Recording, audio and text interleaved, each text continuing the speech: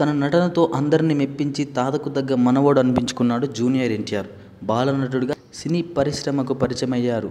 ఆ తర్వాత నిన్ను చూడాలి చిత్రంలో హీరోగా ప్రేక్షకుల ముందుకు వచ్చాడు. అయితే ఎన్టీఆర్ నటించిన రాఖీ సినిమా వెండితెరపై అనుకున్న విజయాన్ని సాధించలేకపోయింది.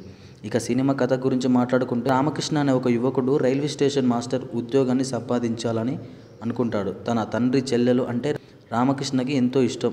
తన చెల్లెని తల్లిగా భావించి ఆమెను ఎంతో ఆప్యాయతతో బాగా చూసుకుంటాడు రామకృష్ణ. తన చెల్లిని ఎన్ఆర్ఐ ఓ సాఫ్ట్వేర్ ఇంజనీర్కి ఇచ్చి పెళ్ళి చేస్తాడు. కానీ అదనపు కట్నం కోసం తన చెల్లిని అత్తమామలు బాగా హింసించి బతికుండగానే కాల్చి చంపేశారు. తెలుసుకున్న రామకృష్ణ వారితో పాటు ఆడవారిని హింసించే ప్రతి వారిపై ప్రతీకారం తీర్చుకోవాలని అనుకుంటాడు. మహిళలపై అన్యాయాలు అరజగాలు పాల్పడే ప్రజలపై తాను ప్రతీకారం ఎలా తీసుకుంటాడు అనేది సినిమాలో చాలా చక్కగా చూపించబడింది. ముఖ్యంగా న్యాయస్థానం సన్నివేశంలో జూనియర్ ఎన్టీఆర్ చెప్పే డైలాగులు ఆలోచింపజేసేలా ఉన్నాయంటే అతిశక్తి కాదు.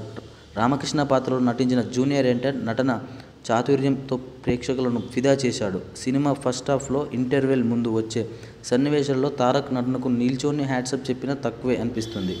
హీరోయిన్గా ఇలియా రామకృష్ణ తారక్కి మరదలుగా చార్మినార్ కౌర్ చెల్లెలుగా మంజుష తమ పాత్రలు పూర్తి స్థాయిలో న్యాయం చేశారు.